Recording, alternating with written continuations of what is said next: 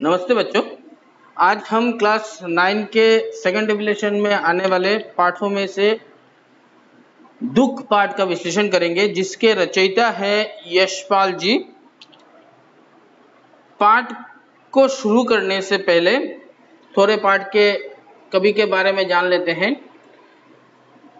कवि यशपाल जी, प्रेमचंदोत्तर कहानी में, यशपाल जी का नाम अग्रणी है। प्रेमचंदोत्तर कहानी मतलब प्रेमचंद जी से पहले यह प्रेमचंद जी के साथ लिखे गए कवियों में से उन, उनका नाम भी सबसे आगे आता है।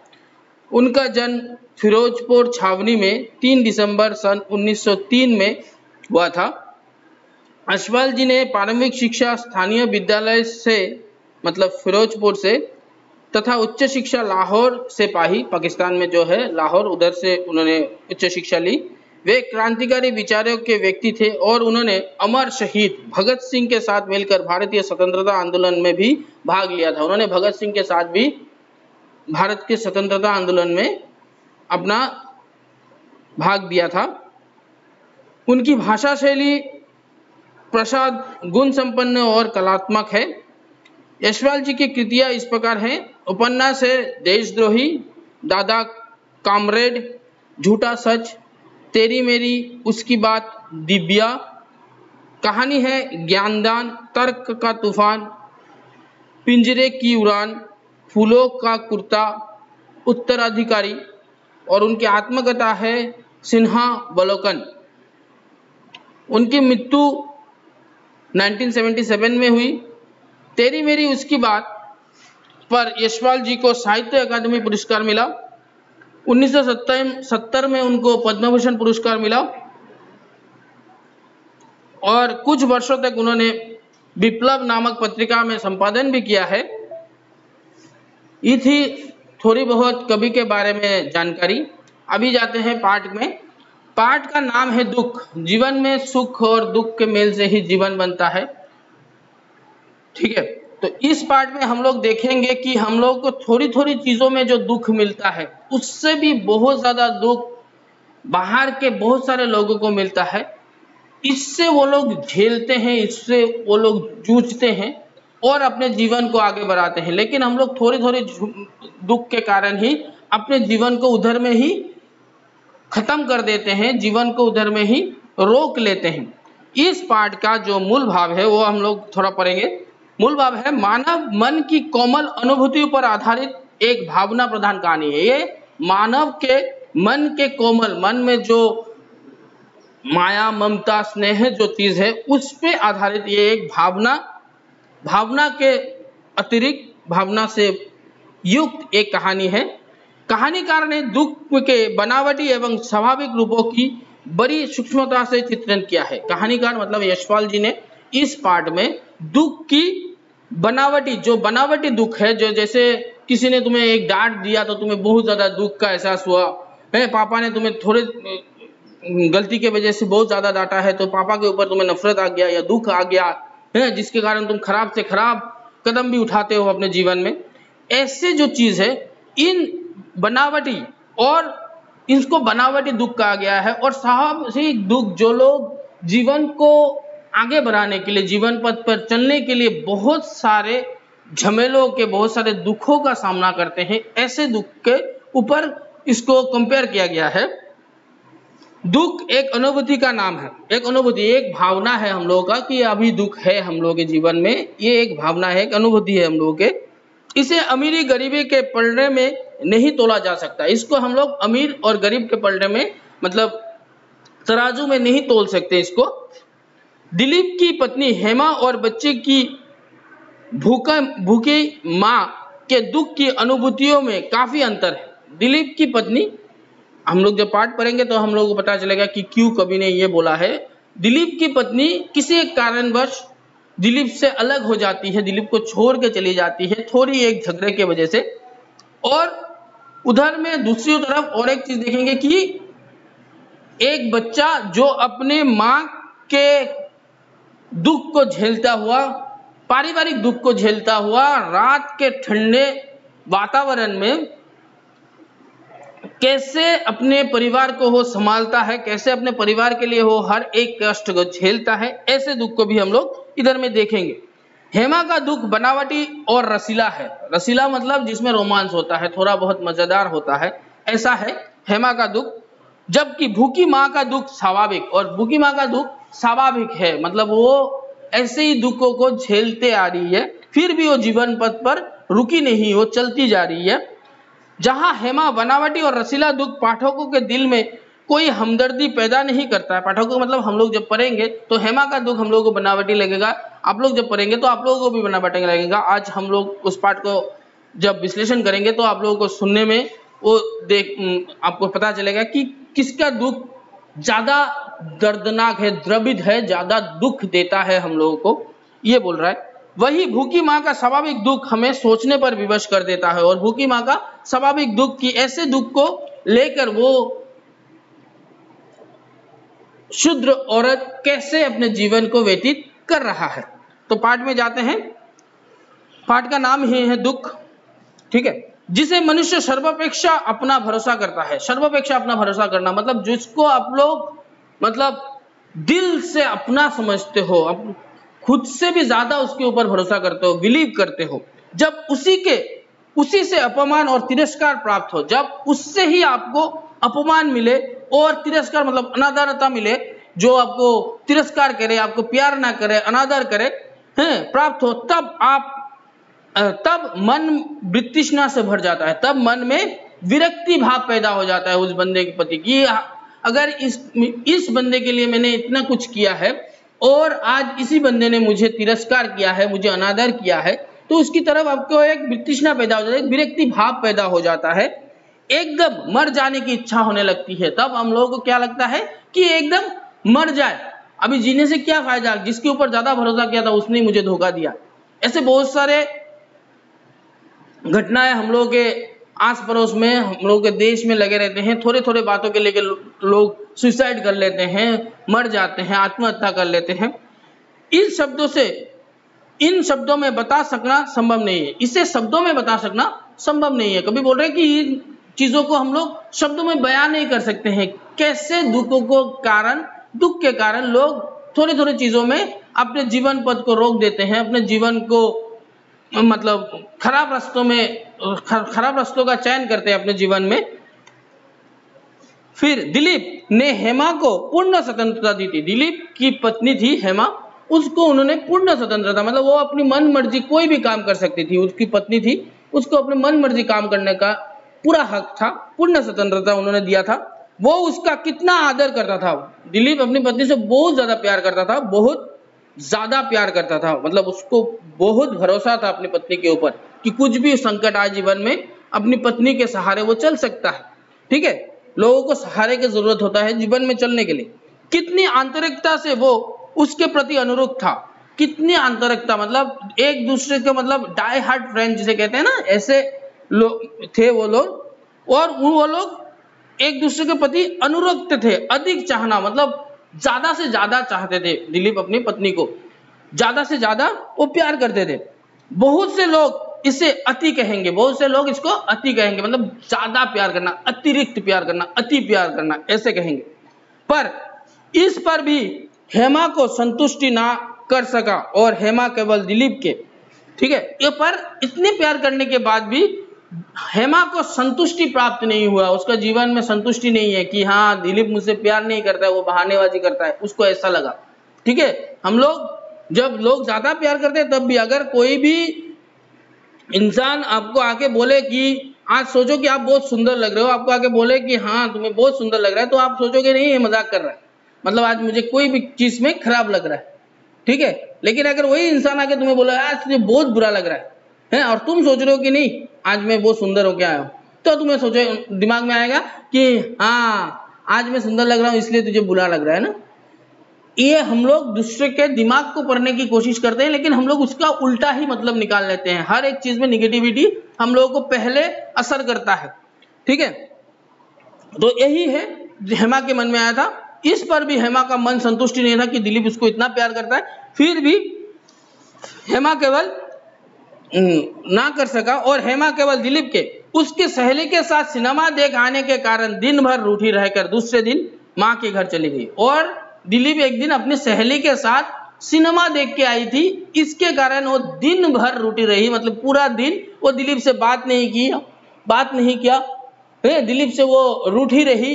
है और दूसरे दिन माँ के घर मतलब पति का घर छोड़कर मायके चली गई। माँ के घर चली गई। तब दिलीप के मन में शोभ का अंत ना रहा, दुख का कोई अंत ना रहा। तब दिलीप को एहसास हुआ कि अगर मैंने जिसके ऊपर ज़्यादा भरोसा किया था, उसने मुझे मतलब विश्वास नहीं किया तो मैं ये ज़िंदगी लेके क्या करूँगा? ऐसा दुख का एहसास दिलीप के मन में आया। सितंबर का अंतिम सप्ताह था। सितंबर का अंतिम सप्ताह था। वर्षा की ऋतु बीत जाने पर भी दिन भर पानी बरसता रहा। वर्षा की ऋतु था, तब सितंबर में ज़्यादातर बारिश होता है। और फिर भी रुक जाने के बावजूद भी, बारिश के रुक जाने के बावजूद भी मतलब तब बारिश खत्म होने का टाइम होता है। और रुक जाने के बाद भी दिन भर से बारिश टपकता ही रहा। दिलीप बैठक पर खिड़की और दरवाजे पर पर्दे डाले बैठा था। बैठक पे मतलब जहाँ पे गेस्ट हाउस होते हैं ना, घर में बैठने का जो जगह होता है, उधर में खिड़की और दरवाजे के सभी के पर्दे बंद करके वो उधर में बैठा हुआ था। वृत्तिष्णा और ग्लानी में समय स्वयं यातना बन जाता है। वृत्तिष्णा मतलब विरक्ति भाव और ज्ञानी मतलब पश्चाताप। ठीक है? इसमें स्वयं यातना बन जाता है। समय काटना यातना के समान लगता है। मतलब कोई आपको टॉर्चर कर रहा है, ऐसा लग रहा है दिलीप को। एक मिनट गुजरना मुश्किल हो जाता है, तब उसके दिमाग में सिर्फ़ एक ही चीज़ चल रहा था कि मैंने ऐसे कौन सी गलती की कर दी कि मेरी बीवी मुझे छोड़ के चली गई, जिसको मैंने इतना ज़्यादा प्यार किया था। ऐसे उसके दिमाग में प्रश्न आ रहे थे और इसलिए उसको एक मिनट गुजरना भी मुश्किल लग रहा था। समय को बीतता ना देख दिलीप खींच कर सो जाने का यत्न करने लगा और समय जैसे नहीं कट रहा था, इसलिए दिलीप ने खुद से ज़ोर ज़बरदस्ती खुद को सुलाने की कोशिश कर रहा था, सो जाने की प्रयत्न कर रहा था, यत्न कर रहा था। उसी समय जीने पर से छोटे भाई के धम धम कर उतरते चले आने का शब्द सुनाई दिया। उस पर उसी समय जीने पर से मतलब सीढ़ियों से उसके छोटे भाई के उतरने का आवाज़ सुनाई दे रहा था, उसके कान में आ रहे थे, दिलीप के। अलसाई हुए आँखों को आधा कॉल उसने दरवाज़ा की ओर देखा। अलसाई हुए आँखों से मतलब उसको बहुत दुख लगा था, इसलिए वो आँख खुल नहीं पा रहा था। अलसाई हुए आँखों से, आँखों को थोड़ा खोला और दरवाजे की ओर, जहाँ से उसका भाई प्रवेश करेगा, उसकी ओर देखने लगा कि भाई है कि कोई और है। छोटा भाई ने पर्दे को हटाकर पूछा। छोटा भाई, थोड़ा पर्दे को हटाकर, क्योंकि पर्दा सब बंद हुआ था, बंद करके रखे हुए थे दिलीप। तो पर्दे को हटाकर, भाई जी आपको कहीं जाना ना हो तो मैं मोटरसाइकिल ले जाऊँ। हैं पर्दा को थोड़ा हटाकर भाई ने पूछा, छोटे भाई ने, बड़े भाई दिलीप से पूछा कि अगर आपको कहीं ना जाना हो तो मैं आपकी मोटरसाइकिल मतलब बाइक लेके जाऊँ। दीवार पर टंगे क्लॉक ने कमरे को, ओ, सॉरी, इस विघ्न से, शीघ्र छुटकारा पाने के लिए दिलीप ने हाथ के इशारे से इजाज़त दी। और इस विघ्न से मतलब ये भी विघ्न लग रहा था भाई से बात करना तो इस विघ्न से छुटकारा पाने के लिए उसने हाथ से इशारा दिया हाँ ले जाओ ले जाओ। हाथ से इशारा दिया, आँख बंद कर ली। और फिर से आँख बंद कर ली।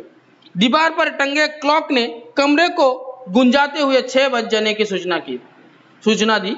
दीवार पर टंगा जो क्लॉक होता है, उसमें बेल सिस्टम होता है, छह बजने के बाद वो आवाज़ करता है। तो वही आवाज़ छह बज जाने का सूचना दी दिलीप को। दिलीप को अनुभव हुआ कि क्या वो यू ही कैद में पड़ा रहेगा? दिलीप को तभी महसूस हुआ कि क्या वो ऐसे ही कैद में और दुख को सहता जाएगा? क्या वो कुछ नहीं करेगा? उसका जीवन इधर में खत्म हो जाएगा। ये उसने अपने आप में सोचने लगा। उठकर खिड़की का पर्दा हटा कर देखा। उठकर खिड़की का पर्दा हटा कर देखा। बारिश थम गई थी। तब बारिश बंद हो गया था।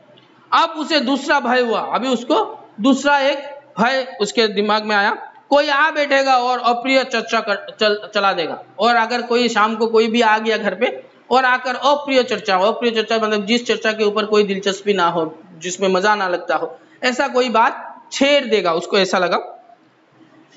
वो उठा वो जहाँ पे लेटा हुआ था उधर से उठा।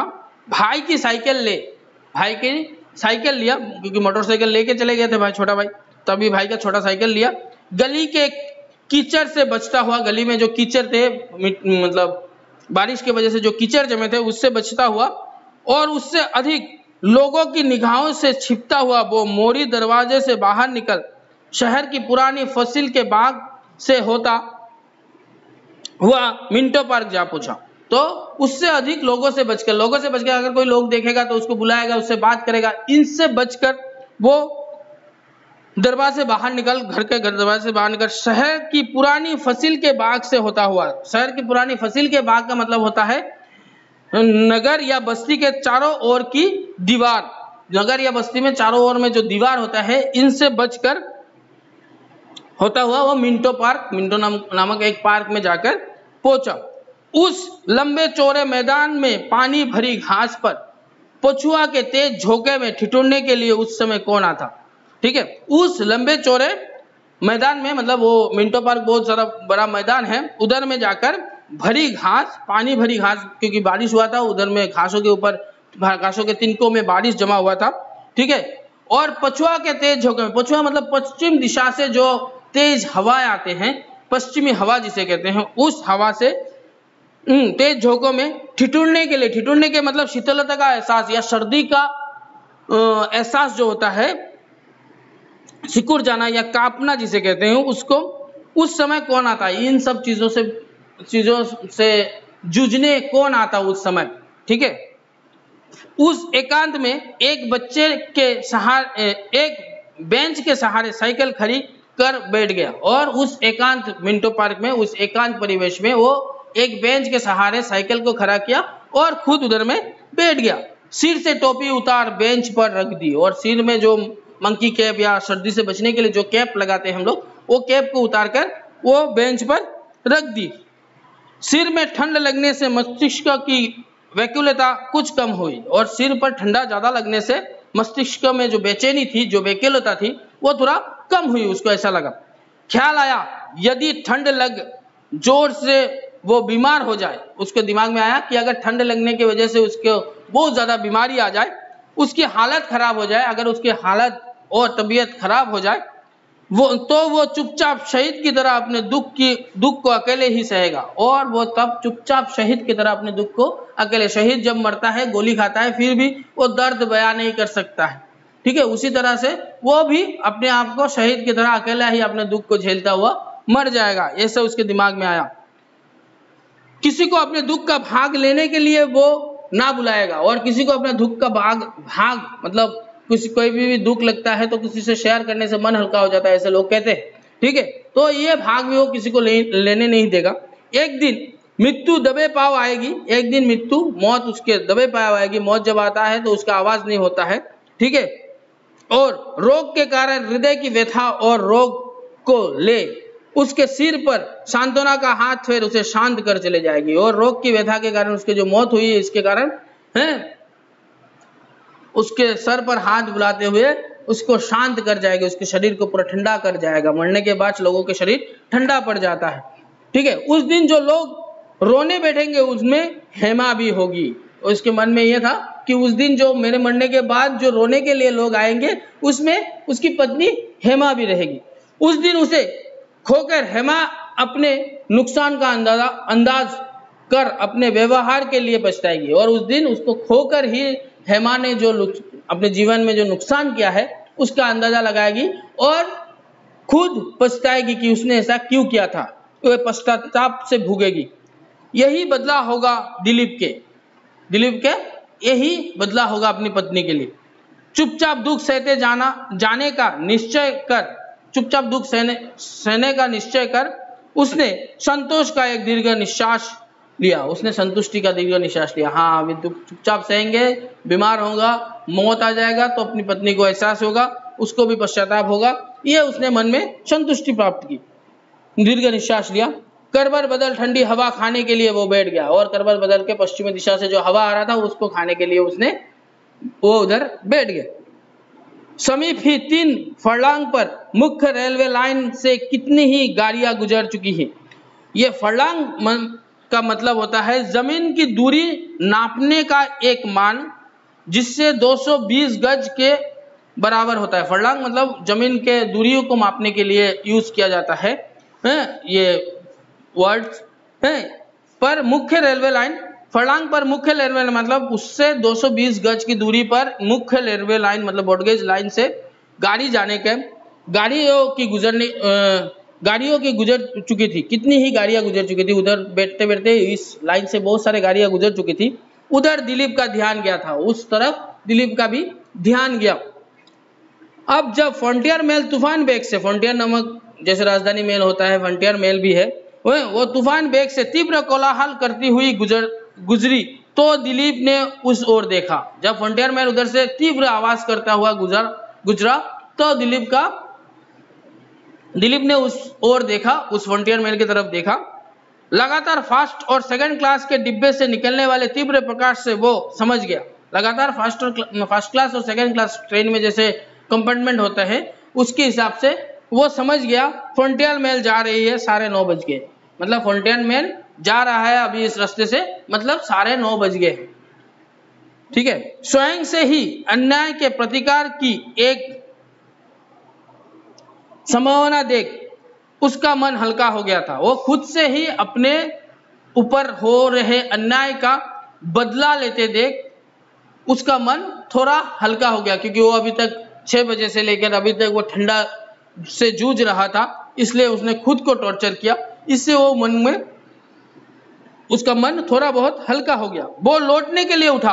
वो घर वापस लौटने के लिए उठा। शरीर में कुछ शैतल्य की मात्रा बाकी रहने के कारण साइकिल पर ना चढ़ वो पैदल पैदल बागो बाग बादशाही मस्जिद और टकसाली दरवाजे और टकसाली से भाटी दरवाजे पहुँचा मतलब इत, इतने देर तक बैठकर और उसको ठंडे का महसूस हुआ और वो ठंडे का होना उसके शरीर में अभी भी बाकी था उसको ठंडा लग रहा था इसलिए वो साइकिल पर नहीं चढ़ा। वो पैदल ही साइकिल को लेकर पुराने पैदल ही बागो बाग बाग बाग से होता हुआ बादशाही मस्जिद उधर में एक मस्जिद है जहाँ पे वो थे उस बादशाही मस्जिद। हाँ, और टकसाली दरवाजे टकसाली दरवाजे मतलब आर्किटेक्चरल अच्छे पक्के दरवाजे जिसे कहते हैं या पक्के काम करने वाले दरवाजे जो होते हैं। टकसाली से भाती दरवाजे पहुँचा बड़े से बड़ा दरवाज़ा जो पक्के होते हैं ऐसे दरवाजे पहुँचा वो। मार्ग में शहीद ही शायद ही कोई व्यक्ति दिखाई दिया हो। मार्ग में उसको कोई भी व्यक्ति उस ठंडे में, उस जरा में दिखाई नहीं दिया। सड़क किनारे स्तब्ध खड़े बिजली के लैंप निष्काप, निष्काम और निर्विकार भाव से अपना प्रकाश सड़क पर डाल रहे थे। सड़क पे जो स्ट्रीट लाइट होते हैं, वो क्या करते हैं? बिजली के लैंप जो स्ट्रीट लाइट होते हैं, निष्काम और निर्विकार भाव से, निष्काम मतलब बिना काम के कोई भी चीज़ होना, ठीक है? और निर्विकार भाव से कोई फ़ायदा नहीं होगा, इससे कोई लाभ ना होगा, ऐसे भाव से अपना प्रकाश सड़क के ऊपर फैलता जा रहा था मतलब वो लैंप दे रहा था। मनुष्य के अभाव की कुछ परवाह ना कर, लाखों पतंगे गोले बाँध बाँध कर इन लेपों के चारों ओर नृत्य कर रहे थे। मनुष्य की अभाव की कुछ परवाह ना कर। माँ मनुष्य चारों तरफ़ ही भरे भरे पड़े हैं, इसका कोई परवाह नहीं किया। कुछ पतंगों ने पतंग मतलब छोटा उड़ने वाले कीड़े जो होते हैं जब हम ठंडों के मौसम में देखते हैं बहुत सारे पतंगे लाइट जहाँ पे देखते हैं उधर में जमा हो जाते हैं और राउंड राउंड लगा के उसका चक्कर लगाते हैं उस लाइट के लैंप का चक्कर लगाते हैं। यही चीज़ वो देख रहे थे। गोले बाँध बाँध कर इन लैंपों के चारों ओर नृत्य कर रहे थे। मतलब उस, उसको ऐसा लग रहा था कि वो लोग डांस कर रहे थे।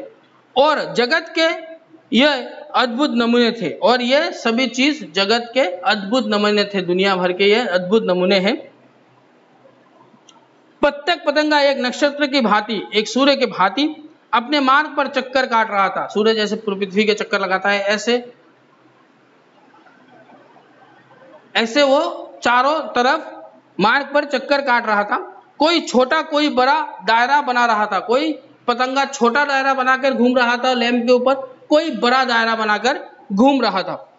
कोई दाए को, कोई बाएँ को। कोई दाएँ जा रहा था, कोई बाएँ को जा रहा था। मतलब दाएँ ओर से घूम रहा था, कोई बाएँ ओर से घूम रहा था। कोई आगे को, कोई आगे से जाकर ऐसे फिर से रिटर्न होकर आ रहा था। कोई विपरीत गति में निरंतर चक्कर काटने चला, चले जा रहे थे। कोई विपरीत गति में मतलब उल्टा होके भी निरंतर चक्कर काट रहे थे। कोई किसी से टकराता नहीं, कोई किसी से टक्कर भी नहीं खाता था। वृक्षों के भीगे पत्ते बिजली के प्रकाश में चमचमा रहे थे और वृक्षों के भीगे पत्ते जो बारिश से भीग गए थे, ऐसे पत्ते के ऊपर जैसे ही लाइट की रोशनी पड़ रहा था, वो चमक रहे थे। एक लैम्प के नीचे से आगे बढ़ने पर उसकी छोटी परछाई उसके आगे फैलती चलती।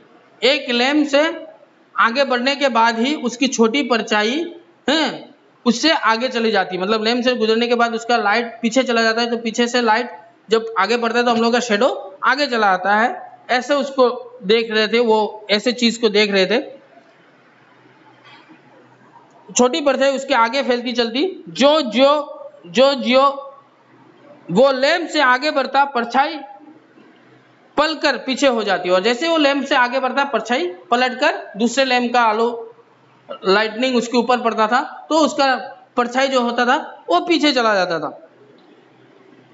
बीच बीच में वृक्षों की, टहनियों की परछाई उसके ऊपर से होकर निकल जाती है। और बीच बीच में वृक्षों की जो टहनियाँ हैं, उसकी जो परछाई लाइट के कारण उसके ऊपर पड़ा था, वो उसको छोड़कर चले जाते थे। उसको, उसके ऊपर से निकल जाते थे। सड़क पर पड़ा प्रत्येक भीगा पत्ता लैंपों की किरणों का उत्तर दे रहा था। और सड़क पर पड़ा हुए जितने भी पत्ते थे, वो सभी लैंपों के पर पड़ा प्रत्येक भीगा पत्ता लैंपों की किरणों का उत्तर दे रहा था लैंपों के किरणों का उत्तर दे रहा था क्योंकि वो भी चमक रहे थे।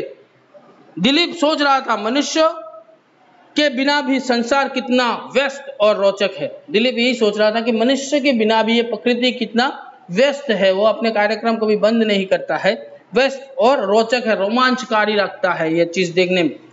कुछ कदम आगे बढ़ने पर सड़क किनारे नींबू के वृक्षों की छाया में कोई स्वच्छ सी चीज़ दिखाई दी।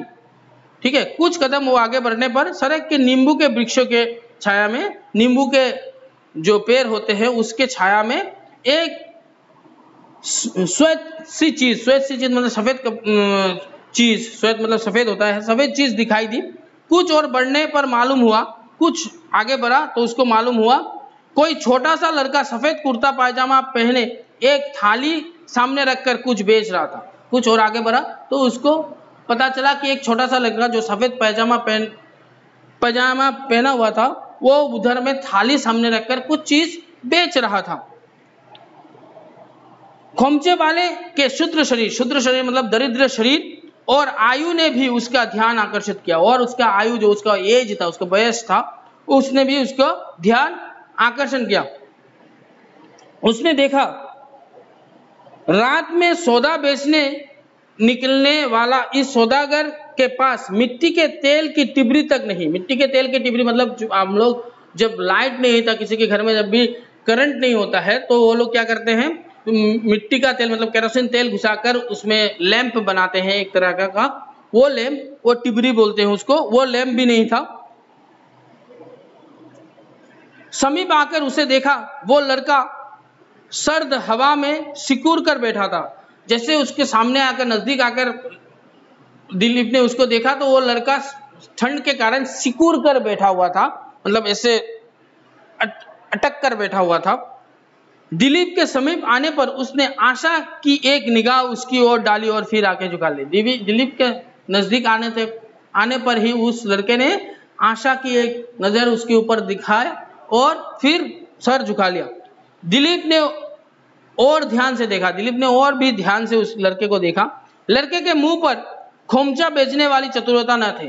खोमचे वाले जो फेरी वाले होते हैं, वो बेचने वाले बहुत चतुर होते हैं। वो उनके मुँह में बहुत ज़्यादा स्पीड होता है, हैं? वो अपने खराब चीज़ को भी अच्छा आपके सामने प्रकट करता है, प्रस्तुत करता है आपके सामने। लेकिन उसमें वो चतुरता नहीं थी, बल्कि उसकी जगह थी एक कायरता, बल्कि उसके अंदर एक कायरता थी, एक डरावना चीज़ था, वो डर रहा था किसी चीज़ से या सर्दी के कारण वो काप रहा था, ऐसा था।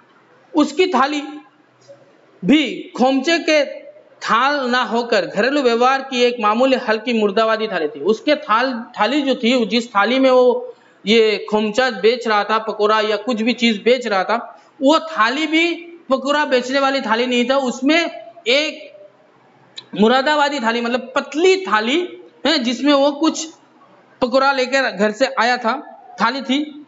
तराजू भी ना था उसमें मापने के लिए, किसी चीज़ को नापने के लिए तराजू भी उसके हाथ में नहीं था। वेट मशीन जिसे कहते हैं। थाली में कागज़ के आठ टुकड़े पर पकोड़े की बराबर डेरिया लगाकर रख दी गई थी। थाली में कागज़ के आठ टुकड़े पर, कागज़ के आठ टुकड़े बनाया है उस थाली में और उधर में पकोड़े के बराबर ढेरिया मतलब पकोड़े की तरह ही, है, कुछ चीज़ लगा हुआ था। दिलीप ने सोचा, इस ठंडी रात में हम दो व्यक्ति बाहर हैं। दिलीप ने सोचा कि इस ठंडी रात में हम सिर्फ़ दो व्यक्ति, वो छोटा सा बच्चा और मैं ही बाहर हूँ। वो उसके पास जाकर ठिटक गया, वो उसके पास जाकर खड़ा हो गया। ठीक है? मनुष्य मनुष्य में कितना भेद होता है? मनुष्य और मनुष्य में कितना डिफरेंसेस होता है, कितना भेद होता है। परंतु मनुष्य तो एक चीज़ है, परंतु इंसानियत नाम का भी एक चीज़ होता है। जो कभी कभी भेद की सब दीवारों को लांग जाती है कभी कभी वो भेद की, ये जो डिफरेंसेस है हम लोग, अमीर, गरीब, इन सब चीज़ों को भी वो लांग जाता है, वो उसको पार करके चला आता है। दिलीप को समीप खड़ा होते देख, लड़के ने कहा, दिलीप को समीप खड़ा होकर देख के लड़के ने कहा एक एक पैसे में एक एक ढेरी एक एक पैसे में एक एक ढेरी मिलेगा। एक क्षण चुप रहकर दिलीप ने कहा, थोड़ा रुका। और फिर दिलीप ने कहा, सबके कितने पैसे? जितने हैं तुम्हारे पास ढेरिया, ये कितने पैसे में मिलेगा? बच्चे ने उंगली से ढेरियों को गिन कर जवाब दिया। बच्चे ने उंगली से उसको गन्ना भी नहीं आता था, वो उंगली से गिन रहा था, कितने हैं? एक, दो, तीन, चार, ऐसे करके गिन रहा था। है? गिन कर जवाब दिया, आठ पैसे। मतलब आठ ठेरिया था, आठ कागज़ के टुकड़े में आठ ठेरिया थे तो आठ पैसे होंगे। दिलीप ने केवल बात बढ़ाने के लिए पूछा। दिलीप उससे बात करना चाहता था, ताकि उसका भी मन हल्का हो जाए और लड़के को भी लगे कि ना कोई है उसका सौदा खरीदने वाला। हम्म इसलिए वो बात बनाने के लिए पूछा, कुछ कम कर लेगा? दिलीप ने पूछा कि कुछ कम होगा? आठ आठ ठेरिया आठ पैसे में से थोड़ा कम होगा। सौदा बिक जाने की आशा से जो प्रफुल्लता बालक के चेहरे पर आ गई थी, सौदा मतलब उसने जो चीज़ लेके आया था, वो चीज़ बेचने के भाव से उसके मन में जो प्रसन्नता आई थी, प्रफुल्लता आई थी, वो दिलीप के इस प्रश्न से उड़ गई। और उसके ये प्रश्न से, दिलीप ने जैसे पूछा कि थोड़ा कम नहीं होगा, इस प्रश्न से वो सब प्रफुल्लता उसके मन से उड़ गया। उसने उत्तर दिया, माँ बिगड़ेगी। उसने सिर्फ़ एक ही उत्तर दिया, माँ बिगड़ेगी मतलब माँ गुस्सा करेगी, अगर इससे कम मैंने बेचा तो कम पैसे में बेचा तो। इस उत्तर से दिलीप द्रवित हो गया। द्रवित होना मतलब दुख से भर जाना। ठीक है? द्रवित हो गया और बोला, क्या पैसा माँ को देगा? उसने, दिलीप ने फिर पूछना क्वेश्चन प्रश्न पूछा कि, ये पैसा जाकर क्या तुमने माँ को दोगे? बच्चे ने हामी भरी। बच्चे ने बोला हाँ। दिलीप ने कहा अच्छा सब दे दो। दिलीप ने फिर बोला अच्छा सब दे दो। लड़के की व्यस्तता देख दिलीप ने अपना रुमाल निकाल कर दे दिया और पकोड़े उसमें बंधवा लिया। लड़कों की, लड़के की व्यस्तता देख मतलब उसका जो सौदा बेचने का जो बिज़नेस था, उसको देखकर वो अपना रुमाल निकाल कर उसको दे दिया और सब चीज़ बाँध कर रुमाल में दिलीप ने ले लिया। आज इतना ही, इसका बाकी पार्ट हम नेक्स्ट क्लास में आपको विश्लेषण करेंगे। अगर इतने तक में किसी तरह की कोई परेशानी होता है तो आपके पास मेरा कॉन्टेक्ट नंबर है, उसमें रात के आठ बजे से लेकर दस बजे तक आप हमें फ़ोन करके पूछ सकते हैं। कोई भी परेशानी हो तो आप हमें पूछ सकते हैं। आज के लिए इतना ही, धन्यवाद।